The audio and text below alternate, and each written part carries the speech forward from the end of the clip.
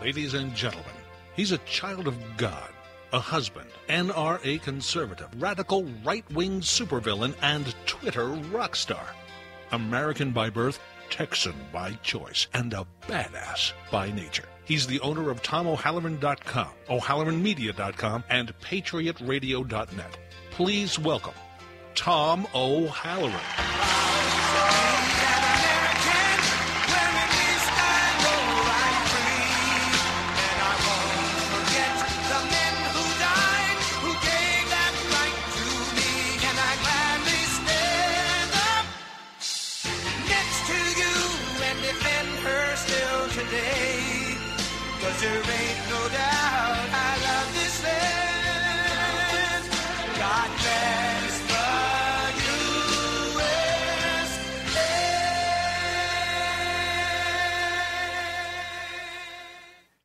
And welcome to the fastest hour on radio. This is the Wednesday night edition of the Patriot Radio Show, and I am your host, Tom O'Halloran.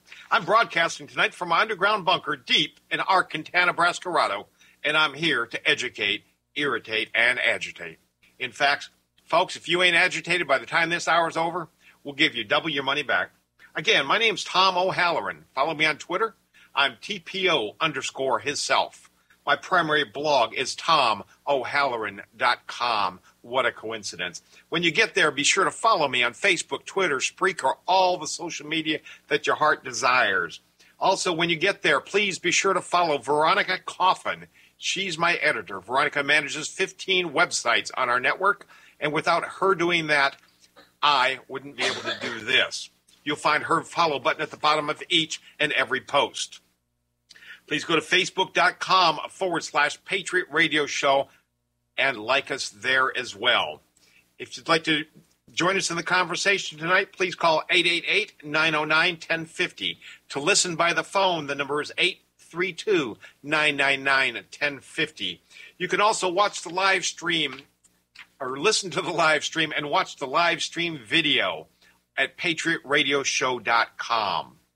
I'm on air four nights a week now, so please be sure to catch the Tuesday night edition of the Patriot Radio Show right here on KCAA 1050 in Southern California. On Thursday nights, I do it on the Wayne Dupree Network, WAR, We Are America Radio at WayneDupree.com. On Fridays, I'm back to KCAA 1050, and I do Jihad on America, where I cover the Islamists in America, who they are, what they want, and why you should be afraid. Now, you can get to all of these shows. They're all at the same time, this time, Tuesdays through Friday. You can get to them all from patriotradioshow.com. And if you haven't caught my show, The Muslim Brotherhood, or my show, Islam is not a religion. Please find your way to patriotradioshow.com. Watch both of these shows. They'll give you a solid foundation. They'll give you an understanding of Islam, Sharia, of the Muslims, of the people that have just attacked France and killed 12 innocent civilians. It'll also give you a solid foundation upon which we build each and every Friday as we talk about what's being done in the name of Allah, both here and abroad. And I do the news about Islam abroad because it's a look into the future. What you saw in France will happen here if we continue to allow the cancer of Islam to spread here in the homeland. It has happened here. It happened at Fort Hood It almost happened in Times Square a couple of years ago. They are here and they are trying to do these things. Catch these two shows at patriotradioshow.com.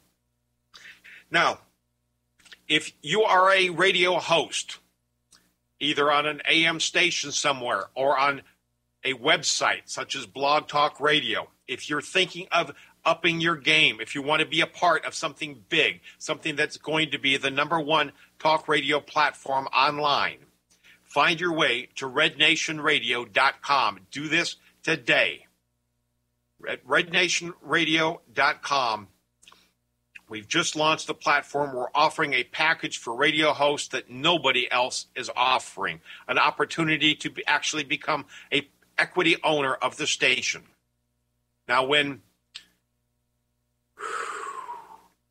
When the Huffington Post was sold a few years ago, Arianna Huffington made $315 million. She shared nothing with the people that made that website a big, big deal. Nothing. At rednationradio.com, every time you host a show, you build equity. At some point down the road, if we sell the station, part of the proceeds will be split amongst the hosts based upon how many shows they've done. So find your way to rednationradio.com and be a part of the leading edge in conservative talk radio. Please stick around. We'll be right back. The other station claims to be local. Since when is Glendale local? KCAA News Talk 1050, your true local station. Tom O'Halloran. We'll put a boot in your ass. It's the American way. All brought to you courtesy of the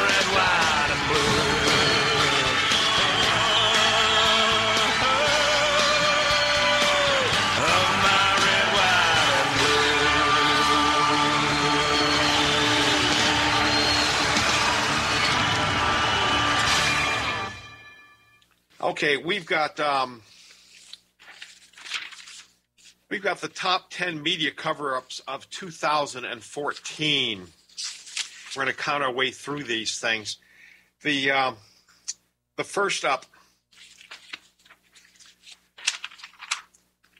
is the um, Republican betrayal of the midterm elections. This is something that we just hours ago had, just yesterday.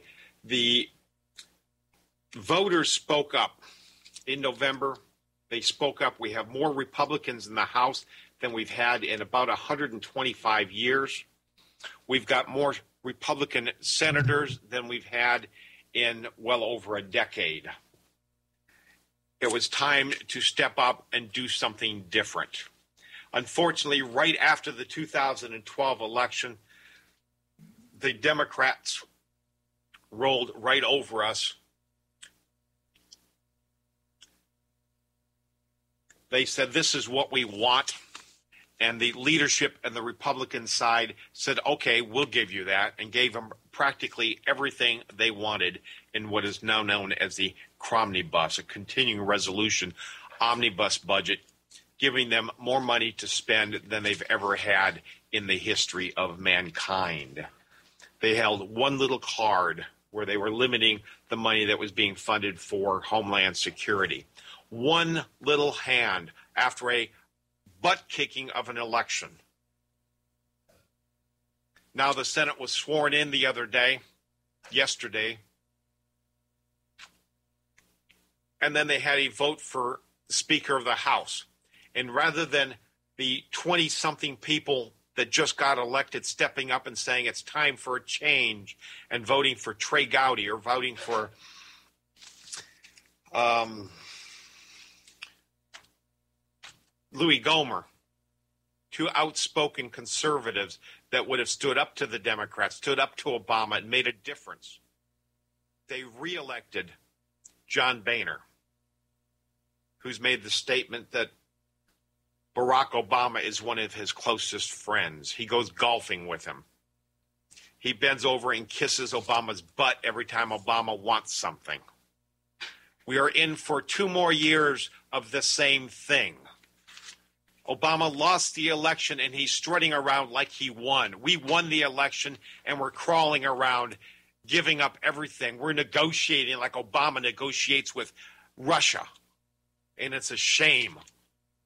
We won. It's time to make a change. It's stand up, time to stand up and make a leadership change to get something done, to show the people that voted that you were listening instead of going to Washington to do John Boehner's bidding. Next up on the list Obamacare lies. We knew they were lies. We knew them from the time they said it. We knew it when Nancy Pelosi said, We have to pass this bill to see what's in it. What a crock of poop. She should have been taken out and tarred and feathered and then drawn and quartered. You don't pass a bill to see what's in it. you make darn sure you know what's in it before you pass it. Anything less is treason, insanity, incompetence. We knew they were lies. Every time Obama said, if you like your health plan, you can keep it. If you like your doctor, you can keep it. We knew they were lies. But recently we've seen videotapes of one of the leading architects, man by the name of Gruber. He came out and stated that the Obamacare was written in a tortured way to make sure that the Congressional Budget Office did not score the mandate as taxes we can't score it as taxes because people don't want taxes. You know, call it the stupidity the of the stupidity of the American voter, or whatever. That was really, really critical to get the thing passed. It wasn't the American voter that voted on it. It was the stupidity of the Democrats that voted for this. Because they're the only ones that voted for it. Not one conservative, not one Republican voted for it, and certainly none of the voters voted for it. It's a shame that it passed. And now he's running around admitting to everybody that everybody's been sold a bill of goods. Most people are and have been very happy with the current healthcare system. Just before the new year, in October 2009 policy brief, Gruber uh, policy brief by Gruber was unearthed in which he admitted that the Affordable Care Act would definitely not be affordable. It was produced while he was still writing the bill and while Obama was still declaring that premiums would drop dramatically. Obama had insisted in 2009 that the individual mandate was not a tax. But in 2012, the White House attorneys arguing before the Supreme Court said that it was a tax because that's the only way it could comply with the Constitution. So it's sold to the Congress as, as it is not a tax. And then it gets before the Supreme Court and they say it is a tax. Criminal.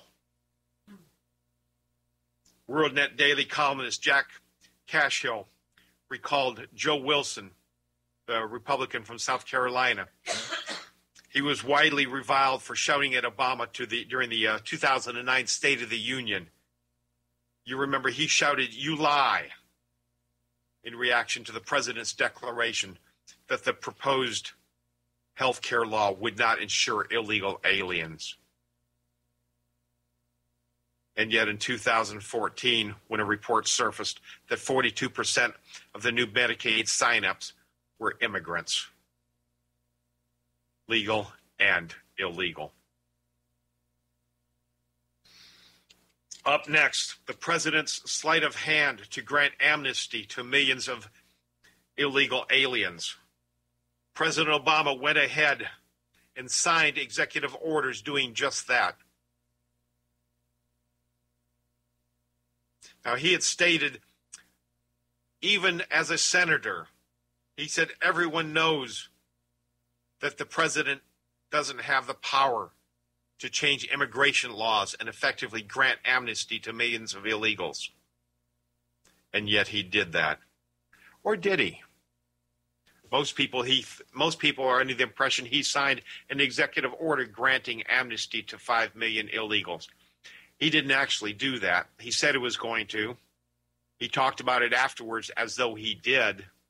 But what he did was he turned around to Jeh Johnson, the head of Homeland Security, and he said, just write some policy guidelines instructing Homeland Security to not deport, to let people come across and just dis- distribute them around the country, thus making it less of a treasonable offense, but only marginally. He, in effect, what he did is he created a new alternative immigration system. Again, despite the fact that the president is not empowered to do that. We have a whole new Congress, a whole new Senate.